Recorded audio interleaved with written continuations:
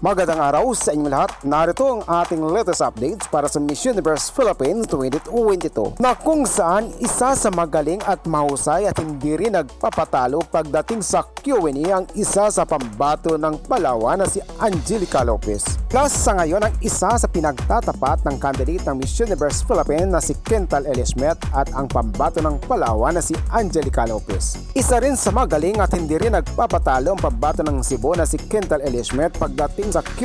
Handa na umano sa kanyang laban at ipanalo ang kanyang laban sa Miss Universe Philippines 2022 ang isa sa pambato ng Palawan na si Angelica Lopez at gandin si Kental Elismet.